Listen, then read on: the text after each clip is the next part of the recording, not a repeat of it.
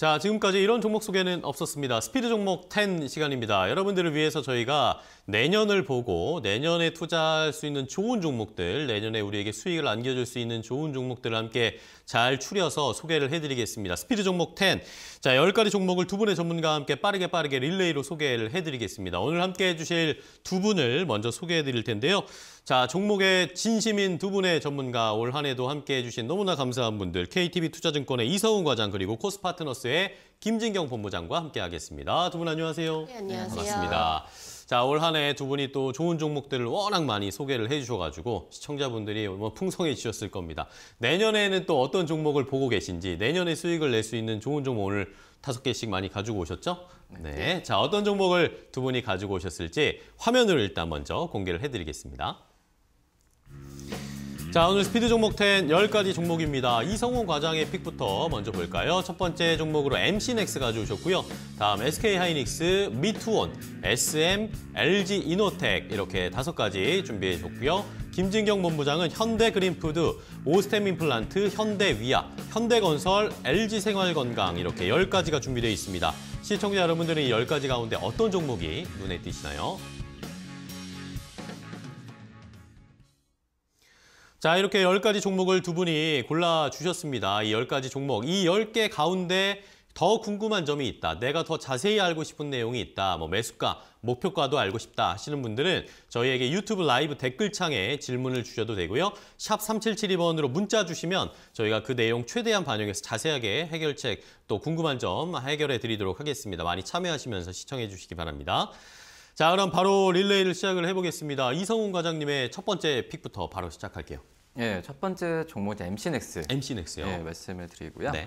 MC넥스 같은 경우 아시다시피 이제 뭐 카메라 모듈 만드는 기업이고 어, 어떻게 보면 이제 삼성전자, 삼성의 어떤 갤럭시에 어, 가장 많은 어떤 카메라 모듈을 납품하는 기업이지 않을까 중소형 그 기업 중에서는 대표적이지 않을까라고 판단이 되고 있고요.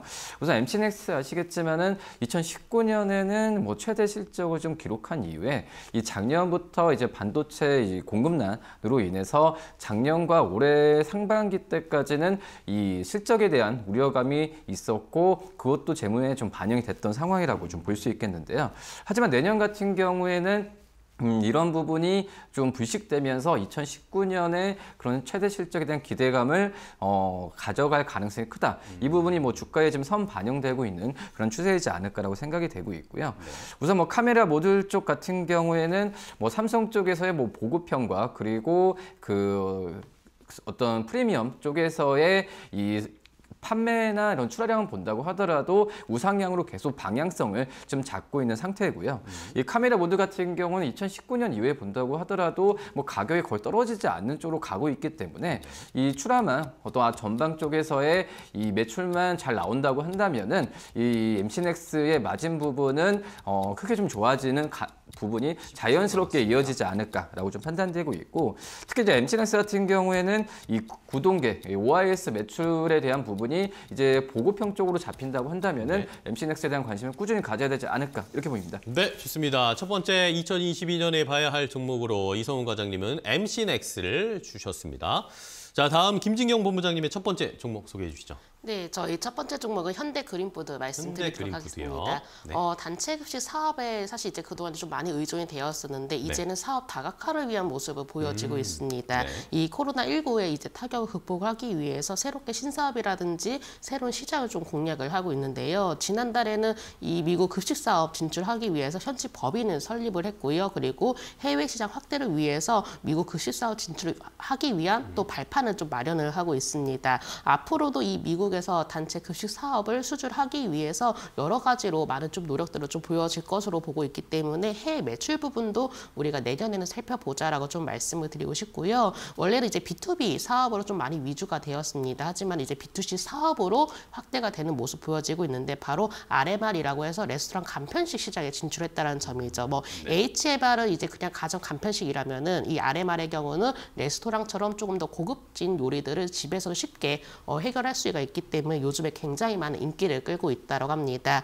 매출이 그동안에 이제 50%가량이 거의 이제 단체 급식 사업으로 어, 했었는데 이제는 비중을 줄이고 이렇게 사업을 다각화하기 위해서 여러 가지 방법들을 마련하고 있고요. 특히나 지난해 3월부터는 이 833억 원가량을 투자를 한 스마트 푸드센터까지 가동하면서 이 식품 제조 사업을 본격화를 했는데 여기에서는 이 스마트 푸드 센터에서 B2B와 그리고 B2C 제품을 함께 생산하고 있기 때문에 오히려 비용 효율화로 인해서 수익성 개선까지도 기대가 되고 있기 때문에 내년에는 전반적인 개선세가 예상이 되고 있습니다. 네, 좋습니다. 현대그린푸드 이제 사업 다각하려면서 조금 더 좋은 실적 기록할 수 있을 것이다 라는 의견으로 내년에 살펴볼 현대그린푸드를 첫 번째 김진경 본부장님이 주셨습니다.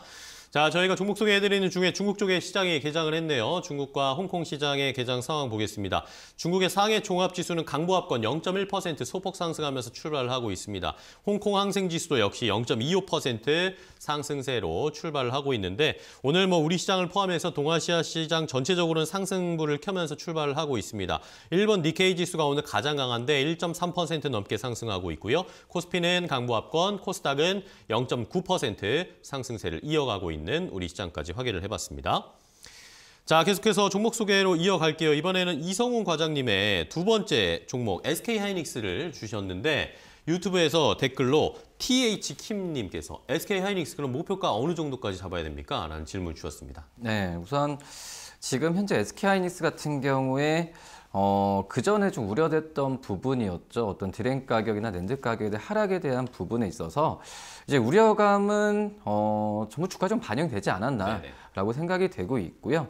오히려 지금 지난주에 뭐 인텔의 낸드 사업 부분을 인수를 하면서 어, 글로벌 어떤 낸드 시장 쪽에서는 그 시장 점유율 거의 20%까지 올라갈 그렇죠. 가능성도 좀 크다라고 볼 수 있겠는데 지금 당장 어떤 SK하이닉스에 대한 실적에 대한 전망이 뭐 랜드랑 디램 가격 하락 때문에 좋다라고 좀 단언할 수는 없지만 이런 우려감은 이제 뭐 주가라는 부분은 선반영 상품이기 때문에 미리 좀 반영이 되는 부분이고요. 지금은 이제 디램 가격이 내년 1분기보다는 2분기 때 상승세가 지금 예상이 되고 있는 상황이기 때문에 이런 부분에 대한 그 장밋빛 전망 에 대한 부분이 주가에 계속 반영이 되지 않을까라고 좀 생각이 되고 있습니다.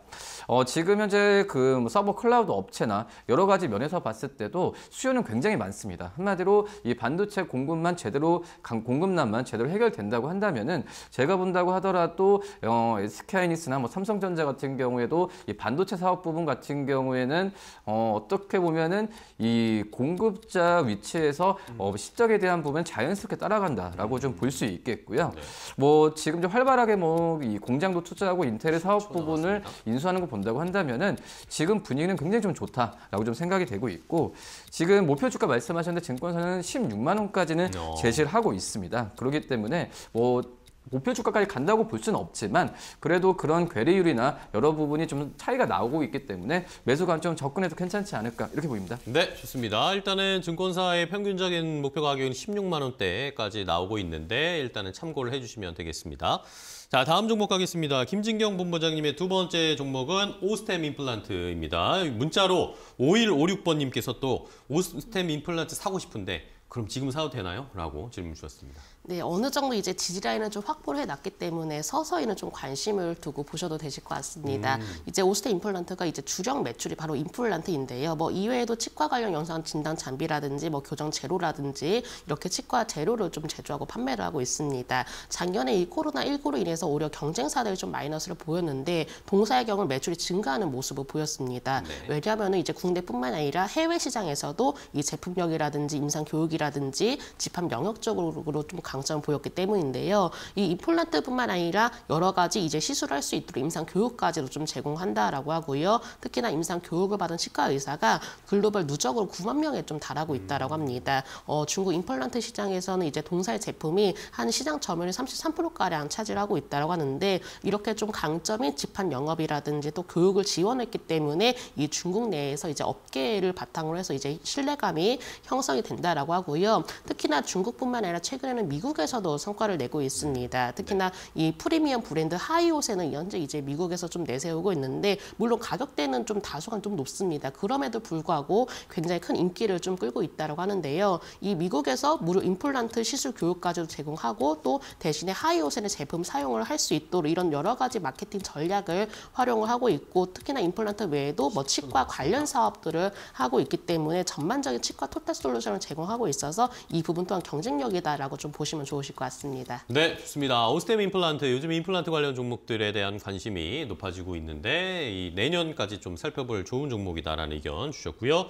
자, 다음 종목으로 또 갈 텐데요. 이번엔 이성훈 과장님의 세 번째 종목이죠. 네, 저 미투온 미투원이요. 네, 말씀을 드릴 텐데요. 어, 우선 지난주에 그 이재명 대선 후보가 얘기를 했죠. 어떤 P2E 게임에 대한 부분에 있어서는.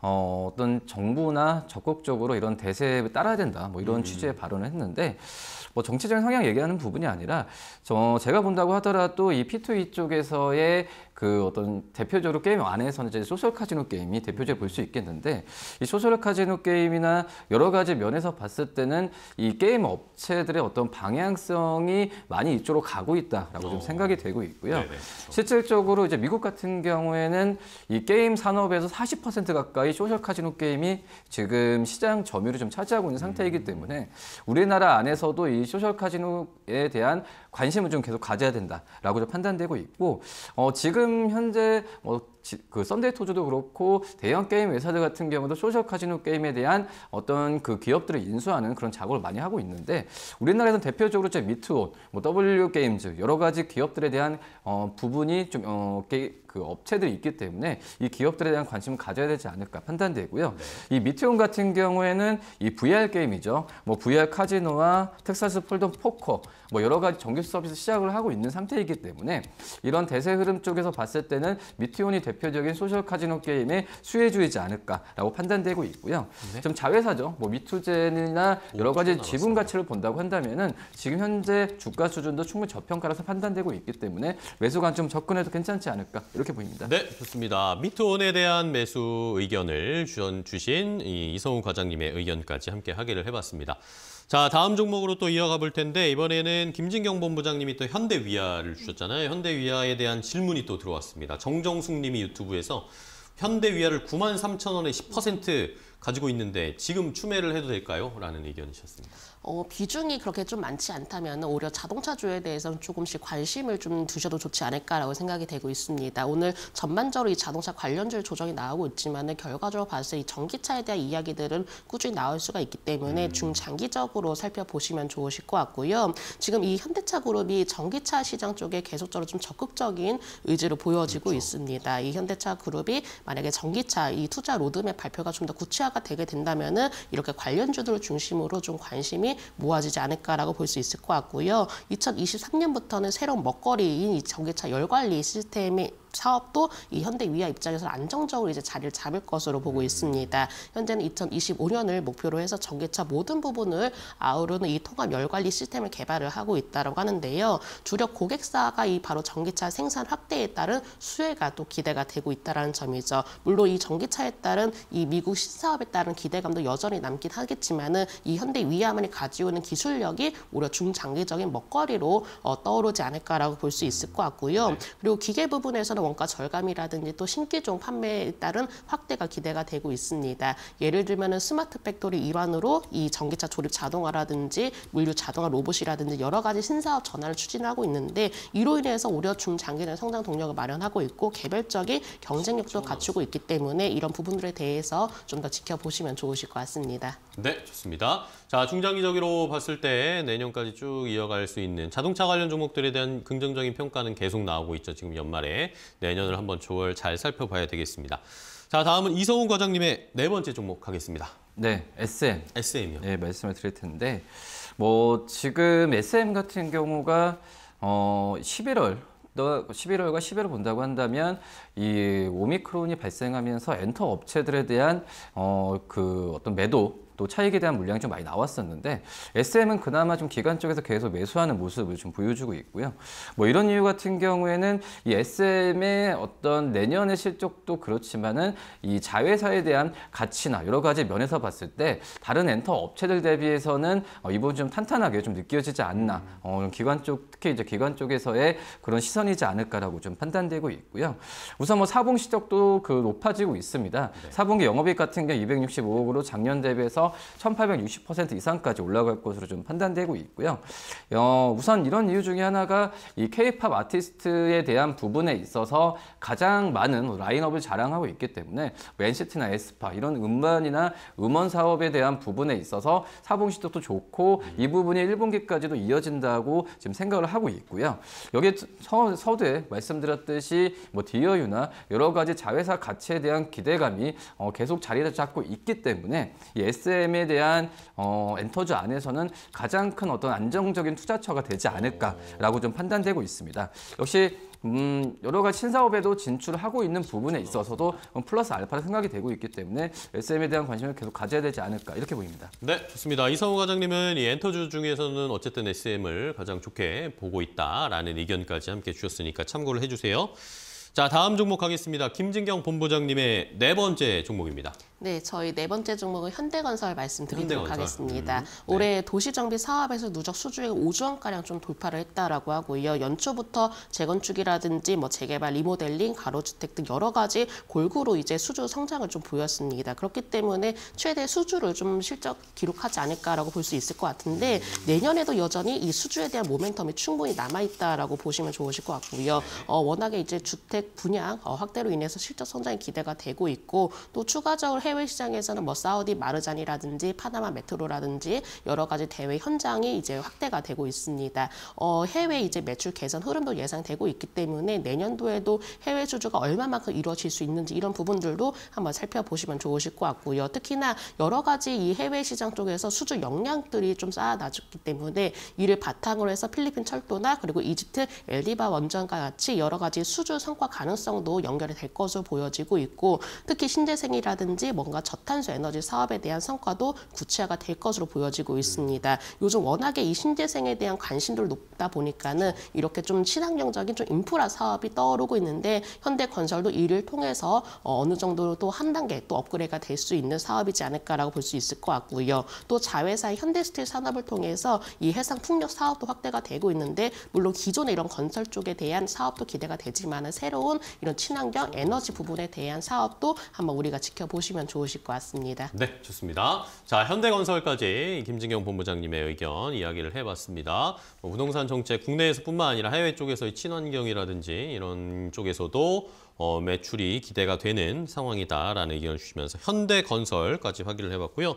자, 이제 마지막 종목 한 종목씩 두 분이 남겨두고 계십니다. 이번에는 이성우 과장님의 마지막 LG 이노텍을 주셨는데요. 자, 이러다 보니까 유튜브에서 어, 나도 이제 불꽃 가족님이 LG 이노텍 신고가인데 괜찮을까요? 라는 그런 질문을 주셨습니다. 어떠세요? LG노텍은 제가 올 한 해 계속 얘기했던 그렇죠. 종목이라고 말씀해 주셨습니다. 네, 판단되고요.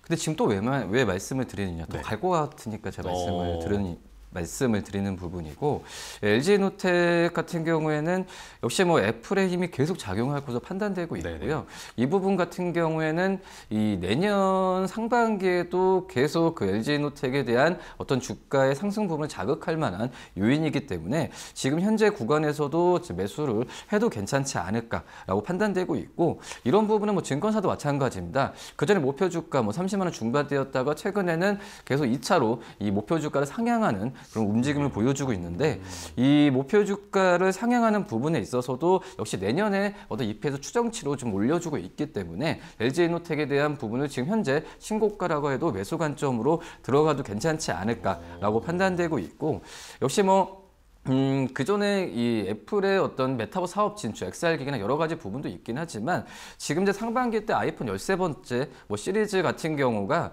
어, 호조가 계속 이어질 가능성이 크다라고 좀 생각이 되고 있고 또 이제 내년 하반기 때는 아이폰에 또 신작이 나오겠죠. 그렇게 된다고 한다면 역시 화소수가 상향이 되면서 이 LG 이노텍의 이미 센서의 가격도 자연스럽게 높아지는 구조로 가고 갈 가능성이 크기 때문에 올해 실적 대비해서 내년 실적에도 긍정적 영향을 끼치지 않을까. 아마 내년 실 적이 올해보다 못하지 않다. 올해도 굉장히 좋지만 내년도 좋기 때문에 매수 관점으로 좀 안전하게 어, 두- 뭐 두려워 마시고 한번 들어가도 괜찮지 않을까 이렇게 보입니다. 어, 좋습니다. LG 노텍에 대한 의견까지 주셨습니다. 뭐 앞서서 지금 차트가 화면에 나갔지만 반년 동안 거의 60%가 올랐습니다. 그럼에도 불구하고 내년에도 더 좋을 것이다. 상승세 이어갈 거다라고 이- 이성훈 과장님께서는 생각을 하고 계십니다. 자, 마지막 열 번째 종목입니다. 김진경 본부장님도 LG 계열 종목 가져오셨네요. 네, 오늘은 제가 LG 생활건강을 한번 조금 네. 마지막 정으로 말씀을 드리게 됐는데 이 럭셔리 브랜드라고 하면은 이제 LG 생활건강 후를 빼놓을 수가 없을 것 같습니다. 이 중국 수요에서는 견조하게 어, 조금 성장세가 좀 이루어지고 있다라고 하고요. 지난달에는 이제 중국 광군제 시즌 브랜드로 이제 후는 전년 동기 대비 한 61% 가량 성장했다라고 합니다. 특히나 알리바바에서는 이 판매액 기준으로 이 럭셔리 화장품 브랜드 3위를 기록했다라고 하는데 요. 이 코로나 19라는 외부 충격에도 불구하고 그래도 LG 생활 건강의 경우는 견고하게 이익 체력을 보여지고 있는데 왜냐하면 화장품 쪽으로 매출 비중 쏠린 것이 아니라 뭐 생활용품이라든지 또 음료라든지 이런 여러 가지 다야, 다양한 제품들도 판매를 하고 있기 때문에 예상보다도 크게 실적을 타격을 좀 주진 않았습니다. 그리고 필수재 성격의 제품 판매로 인해서 오히려 안정성 확보를 했다라고 볼 수 있을 것 같고요. 물론 중국에 쏠려 있는 이 해외 포트폴리오를 더욱더 다각화하기 위해서 최근에는 해외 시장 으로 좀 뻗어나가는 모습 보여지고 있는데 2019년에는 뉴 에이본 인수 그리고 지난해는 이 피지오겔로 인수로 인해서 아시아라든지 뭐 북미 사업권 확보로 이 북미 시장에도 적극적으로 진출하는 모습을 나타내주고 있습니다. 특히나 럭셔리 브랜드 이 후를 또 캐나다 밴쿠버에 어, 또 오픈까지도 했다라고 하는데요. 일본이라든지 동남아시아에서도 이 건강 기능 식품을 중심으로 해서 수요 공각에, 공략에 적극적으로 나서고 있기 때문에 다양한 제품이라든지 또 해외 시장 쪽에서의 견조한 성장세가 기대가 되고 있지 않을까라고 생각되기 때문에 제가 오늘 LG 생활건강 말씀드리도록 하겠습니다. 좋습니다. 마지막 종목 LG 생활건강까지 김진경 본부장님의 설명을 들어봤습니다. 자, 그럼 이제 두 분의 top pick 종목을 골라주시기 바랍니다. 내년에 2022년에 가장 주목할 만한 또 어, 마지막 주에 고르신 top pick 종목 이성훈 과장님은요? 어, 우선 말씀드린 종목 중에서도 실적에 대한 어떤 기저 효과가 가장 클 음. 것으로 예상이 되는 엠씨넥스 말씀드립니다. 네, 엠씨넥스 실적 좋은 엠씨넥스를 보자라는 의견. 김진경 본부장님은요? 네, 당분간 집안에서 많이 생활을 해야 될 것 같습니다. 그럼에도 불구하고 맛있는 음식은 포기를 할 수 없죠. 아, 그럼요. 그래서 제가 top pick 정보 현대그린푸드 말씀드리도록 하겠습니다. 네, 좋습니다. 현대그린푸드와 MC넥스 두 분이 고르신 top pick 종목 한번 잘 보시고요. 내년에 어느 정도 퍼포먼스 보여줄 수 있을지도 기대를 해보겠습니다. 자, 오늘 두 분과 함께 했는데요. 올 한 해도 두 분 너무나 고생 많으셨고 내년에도 또 좋은 종목들과 시청자분들께 만족 드릴 수 있는 어, 멘트 기대를 하겠습니다. 두 분 오늘 고생 많으셨고요. 새해 뵐게요. 고맙습니다. 감사합니다. 감사합니다.